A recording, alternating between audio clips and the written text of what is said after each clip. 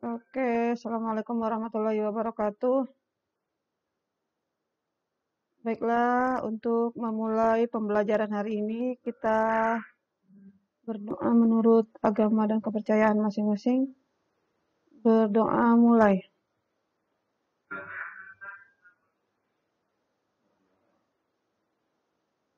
Berdoa selesai.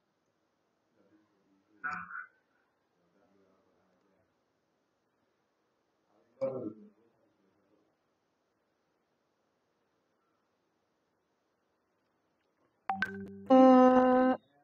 sekarang kita akan mempelajari yaitu mutasi piutang. Kita akan mengetahui gimana cara pencatatan piutang berdasarkan orang per orang. Di sini Ibu udah uh, memiliki tabel yaitu kartu piutang. Di kartu piutang, lihat di sini ada nomor rekening, nama, alamat, ya, lembar ke syarat dan batas kredit. Nah, kamu masih ingat, uh, sekarang Ibu nanya dulu, udah pernah tahu syarat-syarat kredit? Udah pernah belajar belum? Di kelas 10? Belum, Bu. Belum pernah belajar 2 per 10 N per 30 belum ya? Belum. Ya udah, apa-apa. Kita kita pelajari.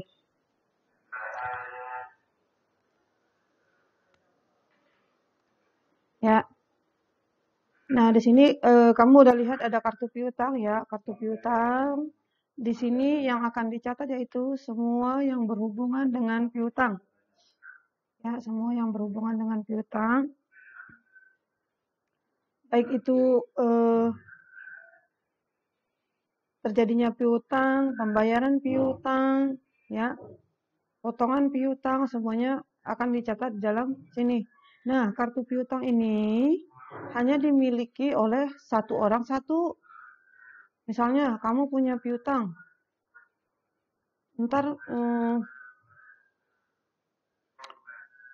apa, eh, Bu Rahma punya, nah nggak digabung ya. Coba kita lihat nomor rekening. Nah, berarti nomor rekening uh, yang punya piutang ya, nomor rekening orang yang punya piutang. Terus nama, namanya siapa? Siapa yang punya piutang? Terus alamatnya siapa? Ini lembar keberapa? Nah, lembar keberapanya ini tergantung kalau kita langganan sama orangnya udah banyak atau udah lama, berarti bisa lembar ke satu, lembar kedua, lembar ketiga. Nah, syaratnya ini syarat piutang ya.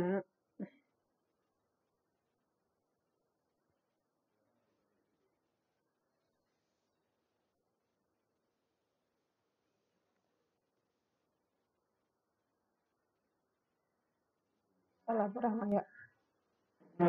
Kayaknya. Nah, itu yang pertama itu ada hmm,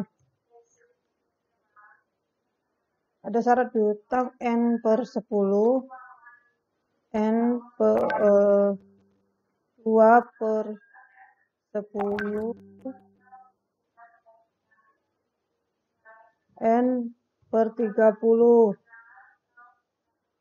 N per 30 itu maksudnya apa? Nah ini ada artinya ya Neng apabila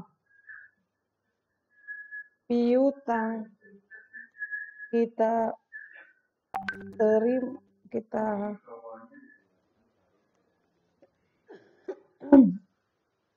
dalam jangka jangka waktu 10 hari maka akan mendapat potongan potongan dua persen. Ya.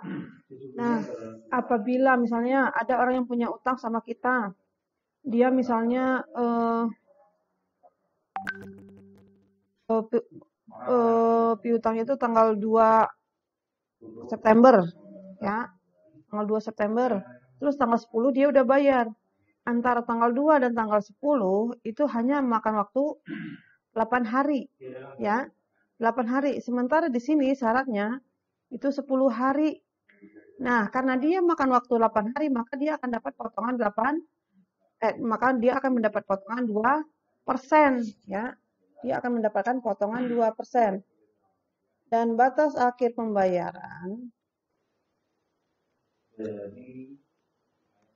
pembayaran 30 hari. Nah, ini 30 hari ya. 30 hari. Nah, yang yang sering kita pelajari ini nih. Apabila piutang kita terima dalam jangka waktu 10 hari, maka akan mendapat potongan 2 persen. Bu, gimana setelah 11 hari berikutnya? Dapat potongan enggak? Ya enggak. Kan syaratnya 10 hari. Ya, itu yang pertama.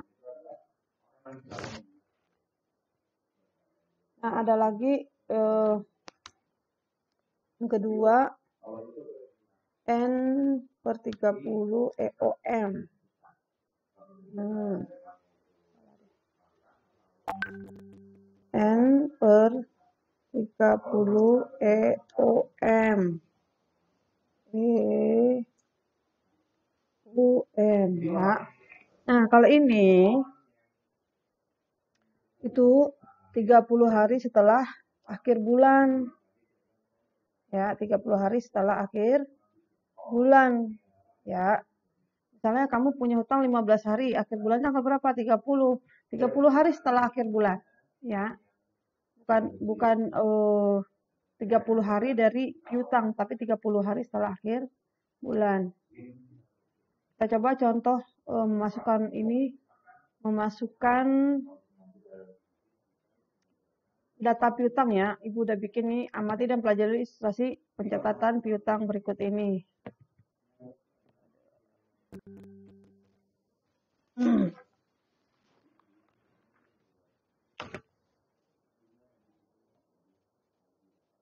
Coba lihat soalnya.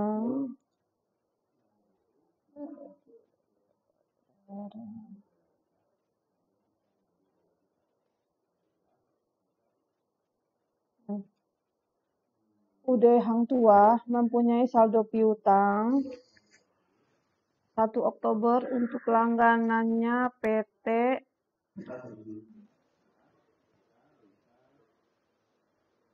untuk langganannya PT Toko Sawarna Jalan Sawarna nomor 3 Jalan Sawarna 3 nomor 170 sebesar 1.500 500 faktur nomor F1112 UD Hang Tua menentukan syarat pembayaran 2 per 10 N per 30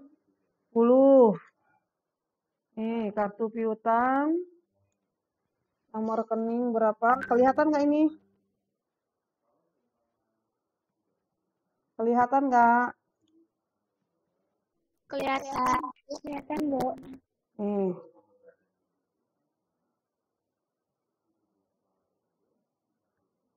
Tadi nomor rekeningnya ada nggak di soal? Nggak ada ya?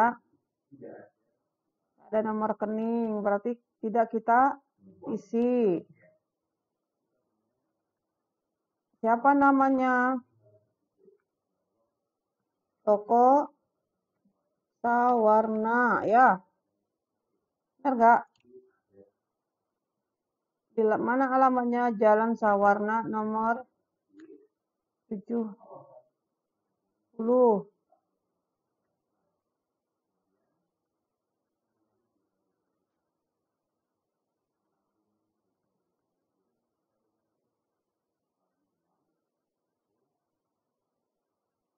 Hmm, toko sawarna. Lembar keberapa? Satu, karena baru satu. Ya kan?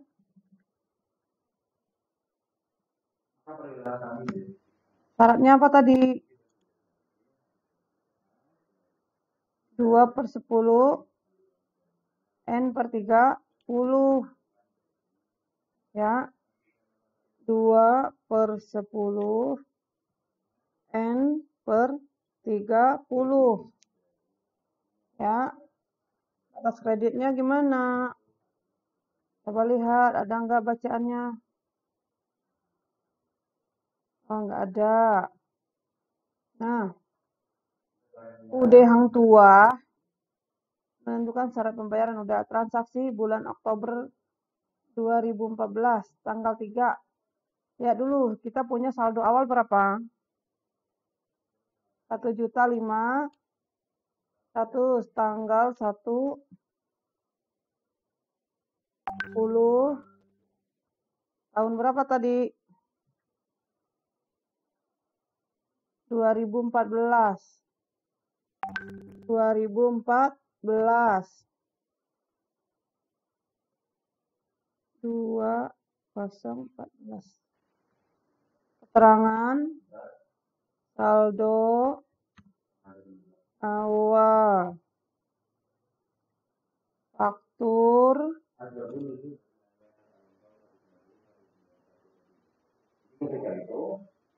Nomor.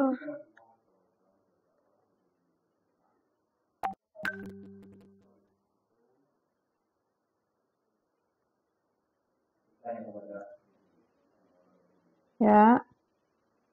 Debet satu titik lima ratus. Nah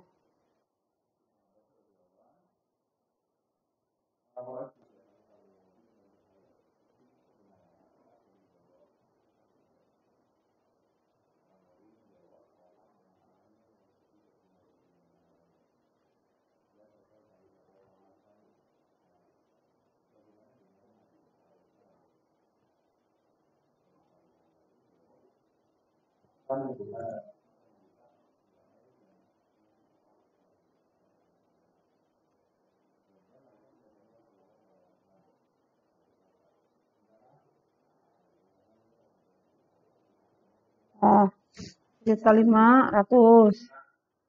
Terus yang kedua tanggal tiga penjualan kredit barang A kepada toko Sawarna ya sini tanggal 3 bulan 10 2014 ya kan? Piutang faktur nomor nah faktur nomor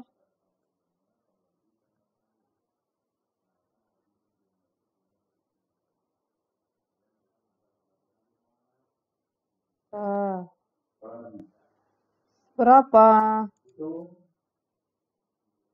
Sebesar 5 juta rupiah.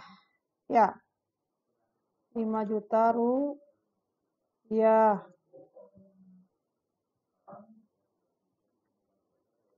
Eh.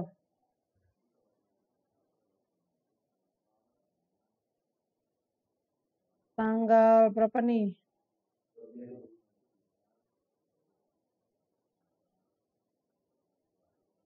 Ya, ini nggak dikasih tanggal lagi.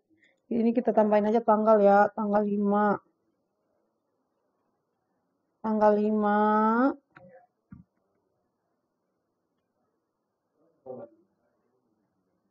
Tanggal 5. Nah, penerimaan piutang. Dulu ini saldo 1 juta lima ratus. Ini saldo eh, 6 juta lima ratus. Ya. Kenapa 6 juta lima ratus? Ada yang tahu nggak ada yang tahu nggak karena bertambah. Nah karena bertambah karena dia sama-sama di debit ya 2014 pembayaran ya. Pembayaran. Faktur nomor 11 ini tadi ya.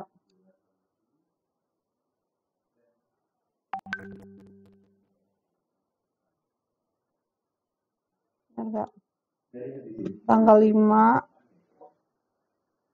oh salah BKM BKM 031 BKM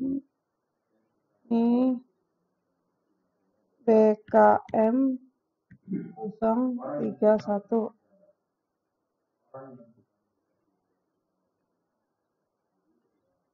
berapa dia bayarnya? satu juta lima ratus.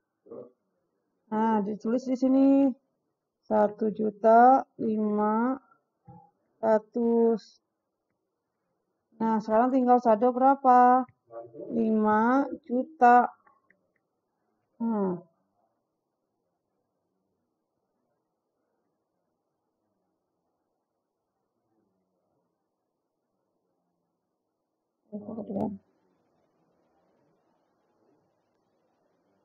Nah, ya Neng. Lanjut. Tanggal berapa ini kita kasih ya? Tanggal 8. Eh, penjualan lagi ya. Penjualan lagi dengan faktur 1202. Nih.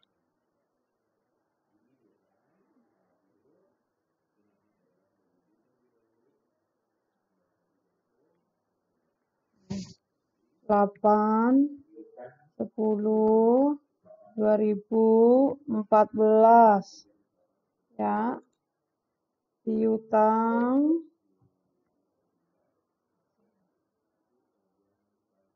Piutang.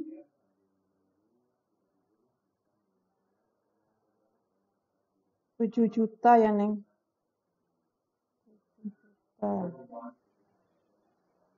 Hmm tujuh hmm uh.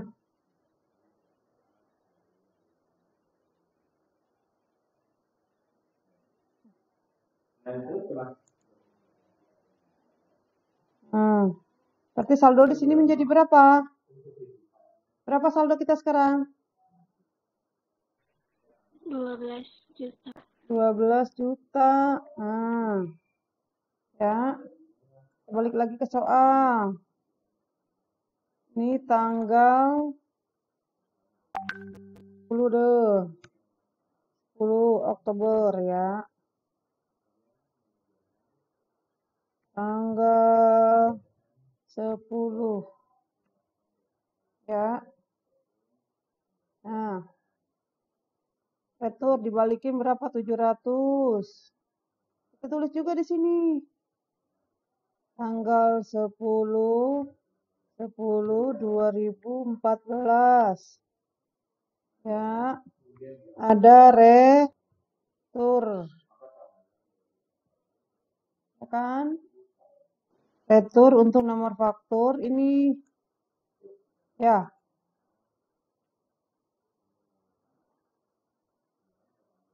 Hmm. Kalau retur di debit apa di kredit? Kredit. 700. Jadi saldo kita berapa? 11 3 100 ya. Lanjut. Tanggal 12 5 juta BKM 501 ini 12 10 2014 ya pembayaran BKM titik kosong lima satu ya Nah, 501 sebesar 5 juta. Nih. Nah, berapa berapa saldo kita sekarang? 6 juta titik 300. Nah, ya selesai soal kita. Ya. Sekarang dari soal yang Ibu terangkan ini ada yang mau ditanyain enggak? Gampang apa susah? Ayo.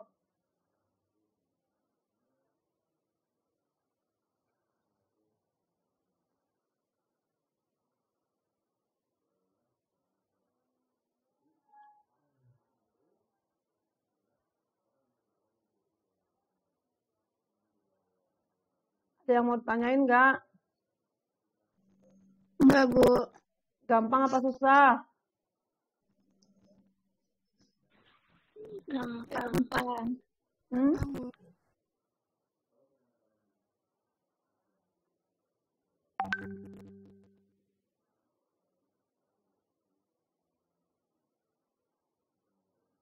Yang lain, ada yang mau tanyain enggak?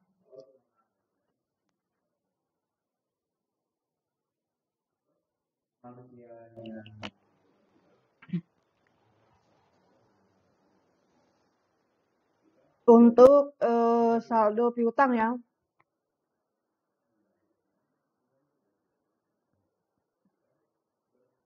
Gak ada yang ditanyain?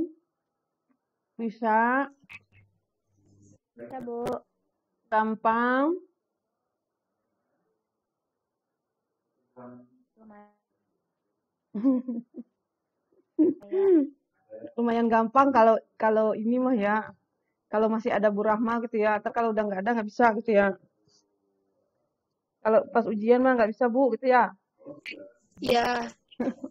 Belum, nggak ada ibu mah. Iya, Bu. Begitu. Ya udah eh, kalau bisa kita akhirin eh, sampai sini wabillahi taufiq wal hidayah.